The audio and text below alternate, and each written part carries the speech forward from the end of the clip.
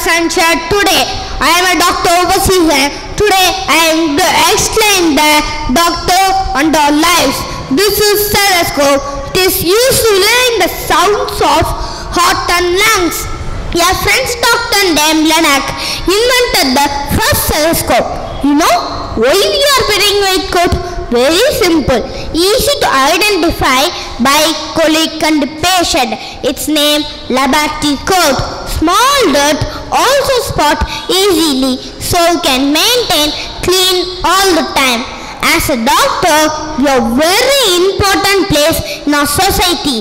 We need to find the disease and treat the sick people. Your main duty of doctor is save the lives of people with service mind. Don't take any medicine from medical shop without consulting doctor.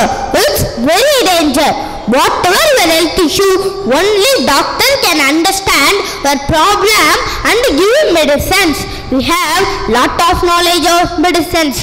We learned this during our studies in MBBS.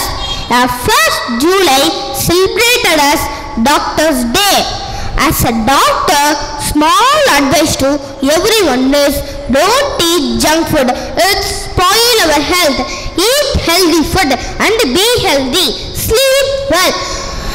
Don't use TV and mobile long time.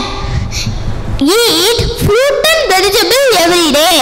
Keep your mind with positive thoughts. Make every day happy and peace. Thank you all.